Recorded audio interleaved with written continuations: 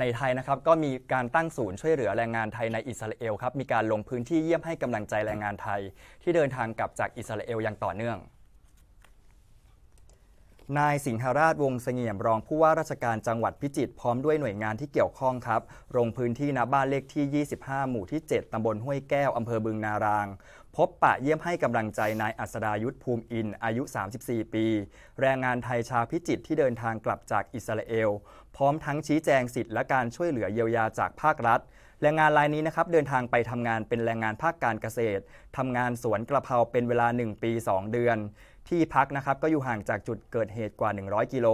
โดยตั้งแต่มีสถานการณ์นะครับก็ยังติดต่อกับทางบ้านอยู่ตลอด ก่อนจะตัดสินใจเดินทางกลับบ้านโดยเที่ยวบินที่รัฐบาลไทยจัดไปรับพร้อมทั้งนี้นะครับก็ยังกล่าวขอบคุณรัฐบาลไทย รองผู้ว่าราชการจังหวัดพิจิตรแล้วก็หน่วยงานที่เกี่ยวข้องที่เดินทางมาดูแลช่วยเหลือ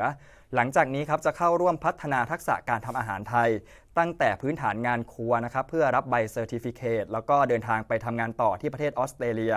สำหรับจังหวัดพิจิตรเองครับมีคนงานไทยที่เดินทางไปทำงานประเทศอิสราเอลเนี่ยจำนวน 24 ราย เดินทางกลับนะครับแล้วก็เนื่องจากว่าสิ้นสุดสัญญาจ้างเนี่ย4ราย แล้วก็หลังเกิดเหตุล่าสุด 2 ราย แล้วก็ไม่ประสงค์กลับ 18 ราย ด้านนายสุชาติธีกสุขผู้ว่าราชการจังหวัดสุขโขทัยเป็นประธานงานชาปนกิจ นายธนกฤษปรากฏวงศ์แรงงานไทยชาวอำเภอทุ่งเสลี่ยม ที่เสียชีวิตจากเหตุการณ์ความไม่สงบในประเทศอิสราเอลท่ามกลางความเสียใจนะครับของครอบครัวญาติพี่น้องและเพื่อนบ้าน นางชุติมนคำมาวง